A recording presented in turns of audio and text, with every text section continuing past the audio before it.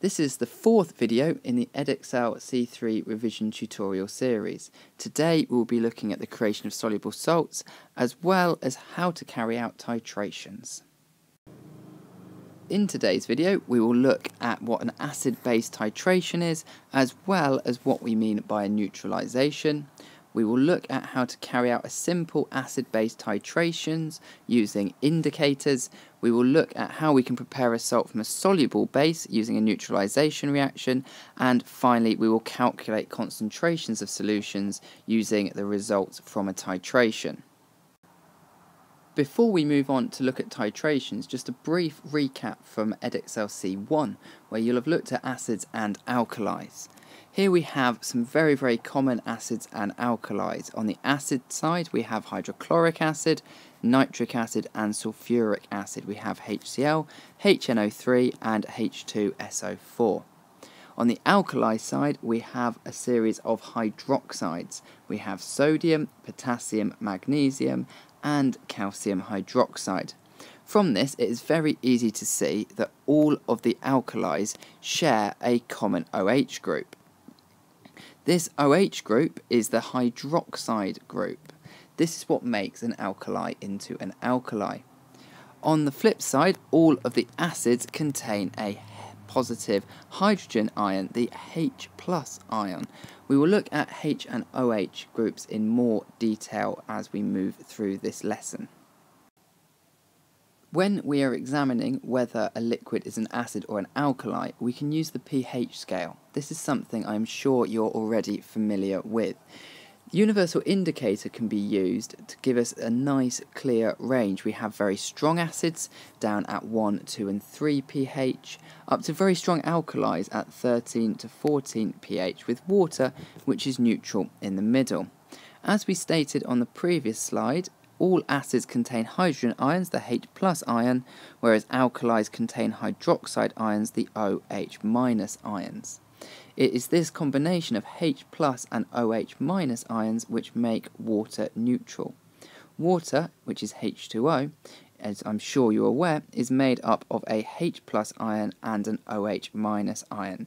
This gives it a ratio of 1 to 1, making it neutral.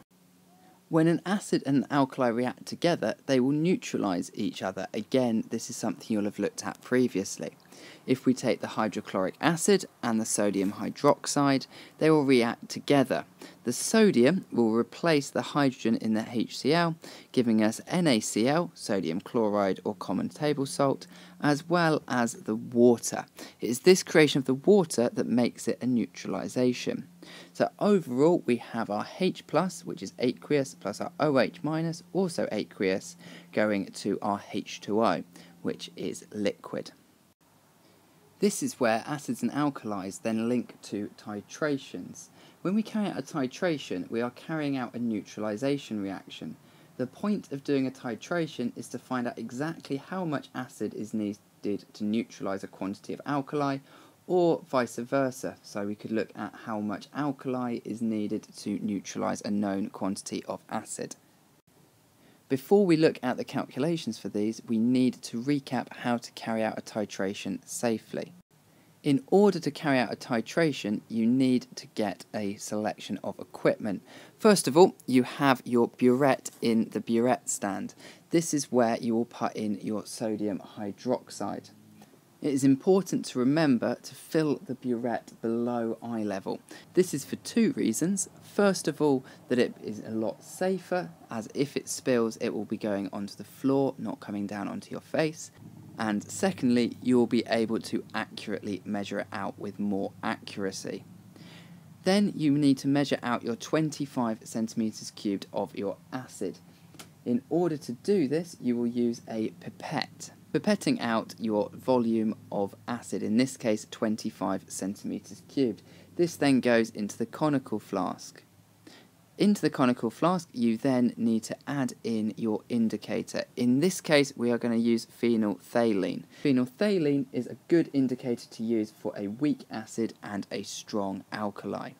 It has a very, very distinctive colour change. You will then slowly add the alkali until the mixture in the flask turns pink, in this case dropping the base down the burette by letting out a little bit at a time. Phenolphthalein is a colourless liquid in acid, however in alkali it goes a very very distinctive pink colour. This means that after adding a small amount of the alkali we need to fully stir it to see if we get a constant pink colour. We then record the volume down in order to work out the volume of alkali used to neutralise the acid. With all titrations, it is best to carry out a rough first titration the first time. This will give you an idea of the vague amount of alkali or acid that you will need in order to carry out the neutralization. You can then carry out three more repeats that will be more accurate. There are a selection of indicators that you can use.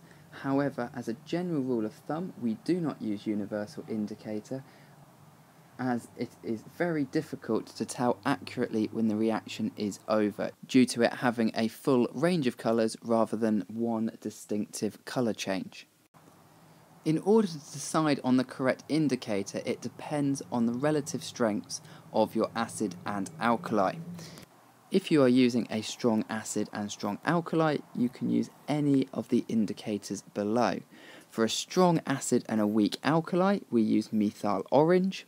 For a weak acid and weak alkali, it is best to use phenolphthalein. And then finally, for a strong alkali and a weak acid, we can use litmus solution. We can also use phenolphthalein for this strong alkali and weak acid. When you have worked out the amount of alkali or acid that you have used to neutralise, you can then carry out a titration equation calculation. The equation that you need is the number of moles is equal to the concentration times the volume, or we can use the appearing triangle, where we have M, which is the moles, C for concentration, and V for volume. A question in the exam might look as follows. So from a titration, you find that you need 32.5 centimetres cubed of hydrochloric acid to neutralise 25 cm cubed of 0.5 moles per dm cubed calcium hydroxide solution. Find the concentration of the acid. This question is one that we need to do in three steps. For step one, we need to work out the number of moles of the known substance we've got. In this question, that would be the calcium hydroxide solution. So we'll do the number of moles of calcium hydroxide is equal to the concentration times the volume. So we do our moles equals concentration times volume. We've got our moles of 0.5, which we were given here, and we have also been given our volume of 25 cm cubed. We need to convert this into dm cubed, so 25 divided by 1000, this gives us an answer of 0.0125 moles of calcium hydroxide. In step 2, we first need to write down the equation for the reaction. We then need to work out how many moles of the hydrochloric acid we have. So our overall equation is our CaOH2 plus our HCl goes to calcium chloride, CaCl2, plus our water. The balanced equation being CaOH2 plus 2HCl goes to CaCl2 plus 2H2O. From this equation, we can see that for every one calcium hydroxide, we have two hydrochloric acids. We have a 1 to 2 ratio. However, we do not have 1 mole of calcium hydroxide, instead we have 0.0125 moles. However, we must have double the number of moles for hydrochloric acid due to the 1 to 2 ratio. So we're going to do our 0.0125 moles, timesing it by 2 to give us 0.025 moles of hydrochloric acid. We have now got our moles of our hydrochloric acid as well as our volume. However, this is a volume in centimetres cubed, so we will need to convert it to dm cubed. However, we are now ready for step 3, which is to work out the concentration of HCl. Using the above equation, we are now going to work out the concentration. So we're going to do our moles divided by our volume.